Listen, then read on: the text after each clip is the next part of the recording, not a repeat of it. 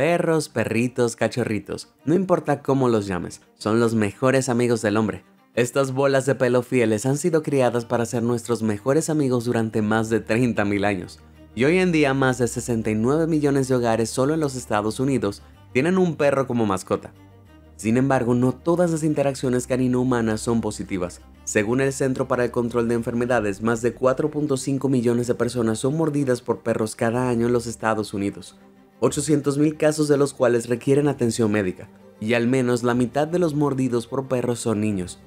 Es por eso que la familia Svilichich se arriesgó mucho cuando adoptaron un Doberman de un refugio de rescate y lo llevaron a casa con su hija de 17 meses en 2007.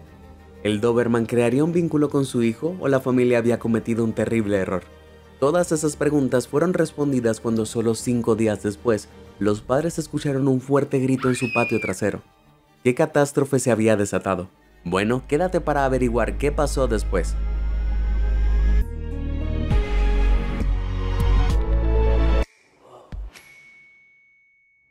La familia Svilichich que vive en Atherton, Australia, con su pequeña Charlotte, sintió que su hija necesitaba un compañero peludo, y así decidieron dirigirse a su centro de rescate local para adoptar un perro para llevar a casa. Ellos pasaron por alto las razas de perros amigables con la familia, como los pugs de cara aplastada o los alegres Golden Retrievers. En cambio, pusieron sus corazones en un Doberman Pinscher y pensaron que sería un complemento perfecto para su familia. Sin embargo, todos los demás en el refugio miraron a los Sveleshir seriamente. Estos perros son una raza de perros notoriamente agresiva, y en todo caso lo opuesto a un perro de familia, porque fueron criados histórica y deliberadamente para ser crueles. Verás, los Doberman fueron criados por Carl Friedrich Louis Doberman en 1890 en Apolda, Alemania. Carl Doberman era un inspector de impuestos, así que puede sonar como un trabajo increíblemente aburrido. Pero en el siglo XIX era una profesión peligrosa si no mortal. Era una época anterior a las computadoras o los sistemas de correo dedicados, así que el señor Doberman recaudaba los impuestos locales en persona. Tendría que viajar a través de las partes más sombrías de la ciudad con bolsas de dinero en efectivo, convirtiéndolo en un objetivo principal para ser asaltado y golpeado por bandidos. Entonces el señor Doberman decidió criar a perros con la esperanza de crear a uno que fuera lo suficientemente fuerte, agresivo, inteligente y leal para protegerlo. El señor Doberman también dirigía la perrera de la ciudad de Apolda, así que tenía acceso a varios perros para reproducirse juntos. Finalmente se le ocurrió la combinación perfecta, un cruce entre un Bosseron, un Pinscher alemán, un Rottweiler y un Weimaraner. Así nació el Doberman Pinscher. Su creación podría dar un mordisco con la fuerza de 2100 kilopascales. Es aproximadamente el mismo tipo de fuerza que esperarías de un refrigerador de tamaño mediano colocado en tu palma. En comparación, un ser humano solo puede aplicar una fuerza de mordida de 1116 kilopascales. Prefiero ser mordido por Mike Tyson que por un Doberman, y la fuerza de la mordedura de un Doberman ni siquiera es lo más aterrador. Cuando muerden las mandíbulas del Doberman se deslizan en su lugar para alinearse mientras se cierran, esto crea un efecto similar a una cuchilla que corta la carne. Eso sí que va a doler. Pero no solo eso, los Doberman tienden a atacar soltando y mordiendo a su objetivo, conocido como mordeduras de tijera. Esto podría destrozar tu brazo o pierna tan gravemente que terminaría apareciéndose a los trozos de carne en la cena de tu perro. Combinado con los temperamentos intrépidos y agresivos del Doberman, este tipo de perro es de gran ayuda en la policía y el ejército, sin embargo, no se recomienda tener a uno cerca de niños pequeños, que pueden actuar de manera impredecible. Y sin embargo, de alguna manera esta familia vieron más allá de los dientes afilados y la estructura musculosa de este Doberman. Pensaron que este perro increíblemente poderoso sería un adorable amigo canino. Mientras tanto, al otro lado del mundo, en Alemania, el señor Doberman se revolvía en su tumba. Pero los Svilichicks no se desanimaron, estaban decididos a traer a este perro a casa y lo llamaron Can. Para arrojar aún más dudas sobre tener este sabueso cerca de su hija de 17 meses, Charlotte, resultó que el Doberman que estaban adoptando tenía un pasado oscuro. En una revelación desgarradora resultó que Khan había llegado al refugio de rescate increíblemente bajo de peso y con varias costillas rotas. Venía de un mal lugar y claramente lo habían tratado terriblemente, y con eso en mente no estaba claro cómo se comportaría Khan con su nueva familia sobre todo porque los perros que provienen de entornos rudos o abusivos suelen demostrar tasas más altas de agresión y miedo hacia personas desconocidas. Estaba claro que esta familia estaba apostando seriamente por este perro. Sin embargo, su arriesgada decisión pareció dar sus frutos al principio, ya que Khan, que parecía querer solo amor y afecto, se adaptó fácilmente en su hogar. Todo estaba en paz por el momento. Ahora, esta familia no eran del todo tontos y se aseguraron de vigilar a Khan, especialmente cuando estaba cerca de la pequeña Charlotte. Sin embargo, cinco días después, Charlotte estaba jugando con Khan en el patio trasero. La madre, Catherine, vigilaba atentamente a la pareja. Fue entonces cuando los peores temores de Catherine se hicieron realidad, cuando el comportamiento de Khan cambió y comenzó a empujar agresivamente al bebé. Sus gruñidos, su postura, todo estaba terriblemente claro. Khan estaba a punto de atacar, pero Catherine no pudo reaccionar a tiempo. De repente, Khan agarró a Charlotte por el pañal, pero Khan no la mordió, sino que levantó la cabeza y arrojó a Charlotte sobre su hombro. La pequeña se estrelló contra el suelo a unos 90 centímetros de distancia. Horrorizada, Catherine se apresuró a ver cómo estaba su hija, mientras el patio se llenaba con el sonido de gritos agonizantes. Pero no venían de Charlotte, venían de Khan. Fue entonces cuando Catherine vio lo que había estado al acecho en la hierba. Deslizándose había una enorme serpiente rey parda, una serpiente altamente venenosa y una de las serpientes más peligrosas de toda Australia. Ahora todo tuvo sentido. Los empujones agresivos de Khan habían sido sus instintos de alejar a Charlotte de la serpiente enroscada detrás de ella. Y los aullidos de agonía de Khan fueron porque al proteger a Charlotte de la serpiente, ésta le había mordido la pata. La familia lo llevó rápidamente al veterinario, donde le administraron una dosis del antídoto que le salvó la vida. Solo entonces la familia se dio cuenta de lo cerca que habían estado de perder a su hija. Ahora, una serpiente rey parda puede administrar una gran dosis de 180 miligramos de veneno en una sola mordida, y muerden salvajemente, hundiendo sus colmillos y devorando a sus víctimas inyectando una dosis masiva de veneno tóxico que puede destruir las células sanguíneas y el tejido muscular. La letalidad de la mordedura de una serpiente rey parda depende de la masa corporal, ya que esto determina qué tan rápido pasa la toxicidad del veneno a través del sistema interno de la víctima. Como un Doberman macho adulto, Khan habría pesado entre 34 y 45 kilogramos, así que pudo manejar esta enorme dosis de veneno y sobrevivir el tiempo suficiente para recibir el tratamiento. Sin embargo, Charlotte era solo una niña pequeña y pesaba entre 8 y 14 kilogramos. El veneno de la serpiente habría corrido a través de su pequeño sistema en muy poco tiempo y podría haber administrado una dosis fatal antes de que ellos pudieran llegar al hospital.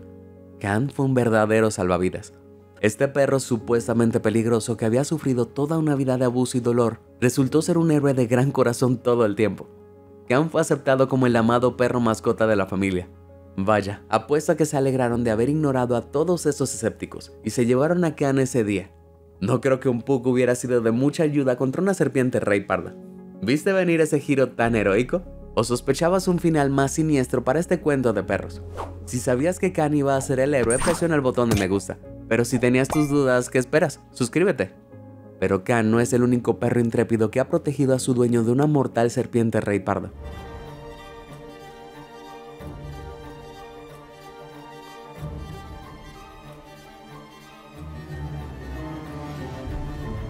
¿Viste eso? Esta valiente Shibu Inu de Australia convirtió a esa peligrosa serpiente en un juguete para masticar. Afortunadamente, Chardy, la heroica Shiv, fue llevada al veterinario tan pronto como la batalla terminó con su victoria, para asegurarse de que no le habían inyectado veneno. Según el propietario, llegó a casa más tarde ese día sin problema alguno. Vaya, ahora siento un poco de pena por la serpiente, pero de nuevo creo que me alegraría si mi perrito evitara que una serpiente mortal se adentrara hacia mi casa. Claramente hay más perros temerarios que se han puesto en peligro para rescatar a sus amados humanos. ¿Quieres saber más acerca de ellos? Muy bien, aquí vamos. Otro ladrido de la luna. Puedes pensar que lo peor que puedes enfrentar en un viaje familiar es la horrible lista de reproducción de Spotify de tus padres. Pero para Joseph Phillips García un repentino giro del destino convirtió un viaje familiar en una lucha por la supervivencia. Joseph salió en un viaje con su tía y su prima para recoger papas silvestres en la Columbia Británica, Canadá, en 2014. Estaba sentado en la parte trasera de la camioneta con su amigo canino Saco, un pastor alemán negro. Era un día cualquiera y la familia conducía felizmente por la pista forestal. Pero las cosas dieron un giro trágico cuando la tía de Joseph de repente perdió el control del camión. Se salió de la carretera y se precipitó por una orilla empinada, rondando por un barranco de más de 90 metros de profundidad antes de detenerse de golpe. Desafortunadamente solo hubieron dos sobrevivientes, Joseph y Sako, quienes fueron arrojados fuera del vehículo. Aunque había sobrevivido al accidente, Joseph resultó gravemente herido, se había roto el fémur y se había fracturado la clavícula, tan gravemente herido y debilitado que no pudo moverse ni pedir ayuda. Herido, perdido y solo en el bosque, Joseph ahora era un sabroso refrigerio a la espera de depredadores como osos, linces y coyotes que habitaban esos bosques, pero afortunadamente Joseph todavía tenía a Sako a su lado, su siempre leal compañero. A pesar del brutal choque y de estar un poco golpeado, Sako se negó a abandonar a su dueño, se acurrucó con él y lo mantuvo caliente, evitando que padeciera de hipotermia. Sorprendentemente también ayudó a arrastrar a Joseph a un arroyo cercano para beber agua. Afortunadamente la pareja sobrevivió la noche sin convertirse en comida para osos, pero entonces, justo cuando se estaban quedando dormidos, escucharon los aullidos reveladores de una manada de criaturas que habían venido a cazar, coyotes. Los coyotes son los primos caninos del lobo, por lo general pesan entre 11 y 15 kilogramos, aproximadamente lo mismo que un perro de tamaño mediano. Pero no te dejes engañar pensando que son como perros, porque estas cosas son animales salvajes que han sido noticia por cazar humanos en el pasado. Dado el estado gravemente herido de Joseph, sería presa fácil para los coyotes. Y cuando las criaturas comenzaron a susurrar en los arbustos cerca del lugar del accidente, Joseph supo que su tiempo se había terminado. Pero entonces Sako saltó del lado de su dueño y se zambulló en el bosque. Lo que siguió fueron los sonidos de una feroz batalla y gruñidos, mientras Sako luchaba contra toda la manada. Joseph sin duda temía estar a punto de perder a su perro también, pero entonces Sako regresó triunfante de su batalla con solo una fea marca de mordedura en el cuello. Y a partir de ahí la mala fortuna de Joseph se revertió. Después de 40 horas atrapado en el bosque, los rescatistas finalmente lo encontraron. Tomó aproximadamente 3 horas sacarlo del bosque de manera segura en su estado gravemente herido, pero de allí lo llevaron a urgencia al hospital, donde pudo reunirse con su familia. Incluso en la feliz reunión familiar, los heroicos esfuerzos de Sako no fueron olvidados. Este perro valiente no solo recibió un hueso grande y jugoso, sino también una medalla de oro. Casi un año después del desastroso incidente, Sako fue incluido en el Salón de la Fama de los Animales de Purina, un evento anual que honra a los héroes de las mascotas que salvan vidas. Después de su valiente batalla contra los coyotes, Sako ciertamente es el mejor en su raza. Asombrosa Shih Tzu Personalmente no soy fanático de los perros pequeños. Están ladrando incesantemente o están temblando como si estuvieran perdidos en la Antártida. Ah, de cualquier manera, simplemente no son los perros para mí, pero tal vez esta próxima historia increíble cambie mi opinión sobre ellos. En la ciudad costera de Miyako, Japón, la jubilada Tamia Kanuma de 83 años disfrutaba de una tarde tranquila en su casa con su Shih Tzu de 12 años, Babu. No sabía que ese día, 11 de marzo de 2011, el país sería golpeado por un terremoto de magnitud de 9.1, el más poderoso jamás registrado en Japón.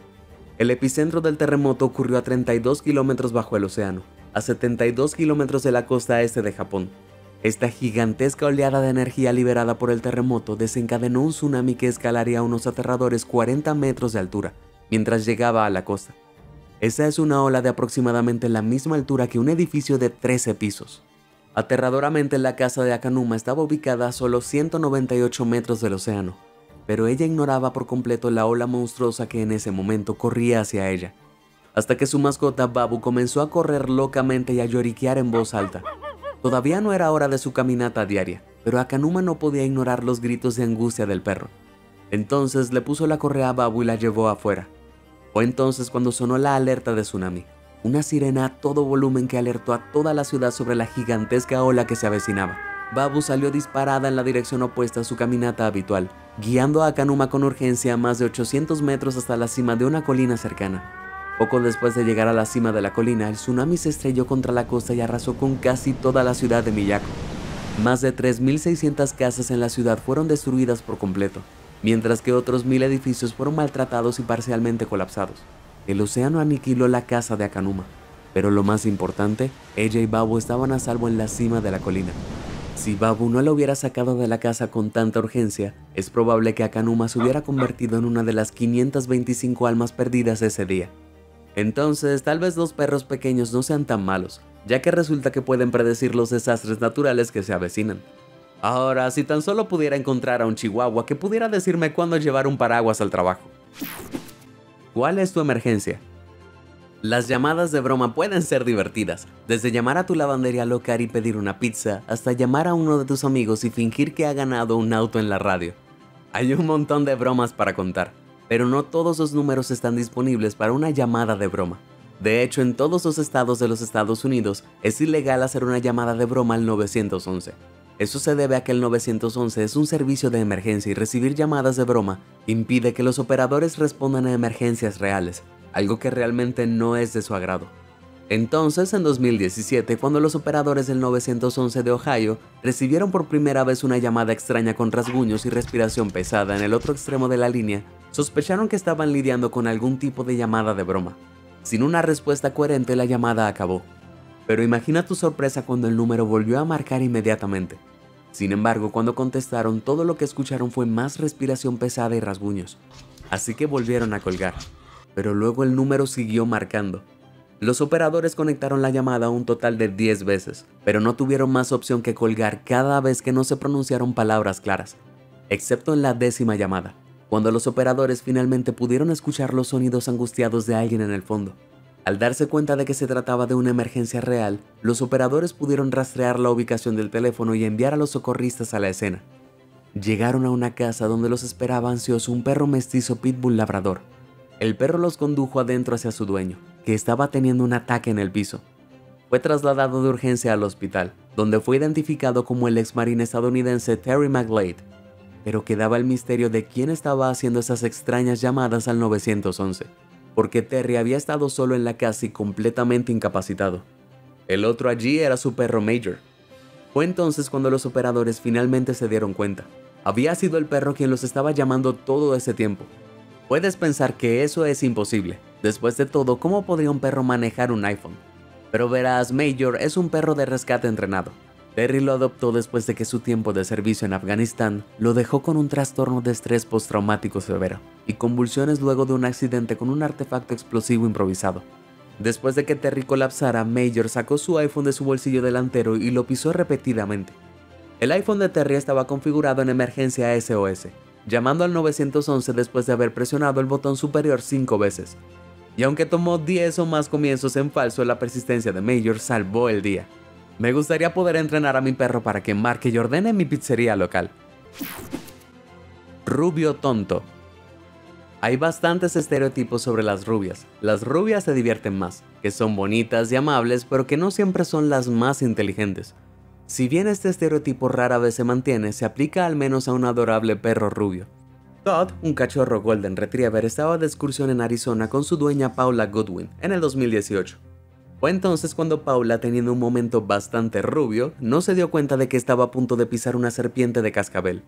La serpiente asustada se enroscó para atacar a Paula cuando Todd saltó entre los dos e interceptó la mordedura de la serpiente de cascabel con su cara peluda. Algo bastante heroico pero las serpientes de cascabel son altamente venenosas, con sus toxinas capaces de causar daño a los tejidos y hemorragia interna. Se requiere tratamiento con una inyección de antídoto dentro de los 30 minutos, de lo contrario si no se trata, el veneno puede causar daños severos en los órganos e incluso la muerte. Paula llevó a todos los veterinarios donde pudo recibir una inyección de antídoto a los 10 minutos de ser mordido. Ahora, interceptar una mordedura de serpiente con tu propia cara es una idea bastante tonta una que dejó a este adorable perro con el hocico enormemente hinchado. Pero a los ojos de todos, Todd es un héroe. En el futuro tal vez la pareja rubia podría prestar un poco más de atención en su entorno. Porque como dice el viejo refrán, las rubias se divierten más, pero las morenas no se dejan morder por serpientes de cascabel. Mamma mía, es un pastel de barro. Vernazza es un pueblo pintoresco ubicado en las impresionantes costas del norte de Italia, pero en octubre de 2011 este pequeño pueblo pasó de ser un sitio colorido a un pantano fangoso cuando se vio afectado por una colosal inundación. Edificios y propiedades fueron destruidos ya que todo el pueblo quedó sumergido en 4 metros de lodo. Cada aldeano tiene una historia que contar sobre cómo les afectó la inundación, pero ninguno tan extraordinario como lo que le sucedió a Pierpaolo Paradisi y su perrito Leo. Pierpaolo se dirigía al trabajo conduciendo por el acantilado del pueblo, Apenas un mes antes había adoptado un perro rescatado de Serbia, Leo, que ahora le hacía compañía de copiloto. Sin embargo, mientras conducían se desató una fuerte tormenta y una inundación repentina sumergió el camino en el que se encontraban. Pierpaolo trató de navegar con cuidado por el camino incluso cuando se estaba convirtiendo rápidamente en un río. No se dio cuenta de que Leo se acercaba más y más hasta que el perro saltó a su regazo Sorprendido, Pierpaolo detuvo el auto y comenzó a regañar a Leo cuando de repente una avalancha de lodo gigante pasó apenas un metro por delante del auto. Poniendo el auto en reversa, la pareja se retiró rápidamente de la carretera de montaña. Solo después Pierpaolo se dio cuenta de que la intervención de Leo los había salvado de ser arrastrados por el acantilado. Lo más probable es que el agudo sentido del oído de Leo se hubiera percatado de las rocas móviles en la cima de la montaña. Los perros tienen una gran capacidad auditiva que les permite detectar sonidos cuatro veces más lejos que los humanos. Entonces, mientras que Pier Paolo no se había dado cuenta del deslizamiento de tierra que se avecinaba, parece que Leo había sentido el peligro y advirtió a su dueño justo a tiempo. En honor a Leo, Pier Paolo más tarde nombró una propiedad en su negocio hotelero en su honor. Entonces, si alguna vez visitas Vernazza, puedes quedarte en el Hotel Leo, pero es mejor evitar el área durante la temporada de lluvias, a menos que disfrutes de un baño de barro muy intenso. Paleta humana. ¿Cuál es tu propósito de año nuevo? ¿Estar en forma? ¿Eliminar el azúcar? Bueno, para Bob, que vive en Michigan, su resolución es simple. Nunca salgas a la calle en pantuflas. En la víspera de Año Nuevo de 2016, Bob salió de su granja en pijama y pantuflas para recoger leña. En pleno invierno el suelo estaba congelado, con una temperatura glacial de menos 4 grados Celsius. Bob realmente debería haberse tomado un minuto para ponerse las botas, ya que las pantuflas y el hielo son una combinación muy peligrosa. Algo que descubrió de la manera más difícil cuando se resbaló en el hielo y se rompió el cuello. Bob vivía en un área increíblemente remota, su vecino más cercano a más de 400 metros de distancia. Paralizado y expuesto al hielo, Bob estaba condenado a morir de hipotermia. Pero luego llegó un héroe inesperado, su Golden Retriever de 5 años, Kelsey. Mantuvo a Bob caliente acostándose encima de él y lamiéndole la cara y las manos. Kelsey también pidió ayuda ladrando y aullando hasta que los vecinos finalmente la escucharon y pudieron llamar a una ambulancia. Cuando Bob llegó al hospital su temperatura central era peligrosamente baja. La temperatura central normal de una persona es de 37 grados Celsius. La hipotermia se establece por debajo de los 35 grados Celsius. La temperatura central de Bob era peligrosamente baja, 21 grados Celsius. Estaba helado hasta los huesos. Pero milagrosamente el calor corporal de Kelsey lo mantuvo con vida el tiempo suficiente para llegar al hospital. Y después de la cirugía, Bob se recuperó por completo de su parálisis. Milagrosamente estar en la nieve había actuado como una bolsa de hielo para todo el cuerpo de Bob, manteniéndolo frío y quieto y previniendo el mayor daño en su médula espinal. Sorprendentemente, Bob pudo recuperarse por completo, todo gracias a que Kelsey es una chica inteligente. Ella es ciertamente más inteligente que Bob caminando sobre hielo en sus pantuflas. Perro salvavidas. Si alguna vez te estás ahogando en el océano, puedes estar esperando a que la roca venga a salvarte. Pero podría sorprenderte cuando obtienes una bestia peluda en su lugar. Y no, no me refiero a David Hasselhoff. Más bien un perro gigante de 68 kilogramos. Al menos ese sería el caso si alguna vez te metieras en problemas en el agua frente a la costa italiana porque aquí en lugar de socorristas entrenan perros de Terranova para que salten al rescate. Estos gentiles gigantes saltan desde helicópteros, se zambullen desde botes o corren por la playa para rescatar a las personas que luchan en el océano. Tal vez te preguntes cómo este mamut perruno pudo nadar en el océano. Seguramente estarían agobiados por su pesado abrigo, ¿cierto? Bueno, en realidad su doble abrigo de piel los mantiene calientes y repele el agua. El vello externo grueso tiene un brillo aceitoso que es resistente al agua, mientras que la capa interna es suave y densa para retener el calor corporal. Además, sus patas palmeadas y sus largos dedos actúan como remos, lo que les permite moverse a través del agua como canoas caninas. Y a diferencia de otros perros que pueden perder resistencia, los de Terranova no nadan al estilo típico de los perros. En cambio, sus movimientos son similares a las brazadas, extendiendo sus piernas hacia abajo y hacia los lados, dándoles una brazada fuerte y rápida a través del agua, su fuerza y tamaño descomunal son perfectos para llevar a las personas de manera segura a la orilla. Un terranova baboso puede no ser tan guapo como la roca, pero cualquier perro que rescate a alguien de ahogarse es un héroe guapo en mis ojos. ¿Cuál de estas heroicas historias de perros te pareció la más increíble? ¿Crees que tu perro vendría a rescatarte? Comparte con nosotros tu respuesta. Si te sorprendió toda esta información, házmelo saber en los comentarios del video.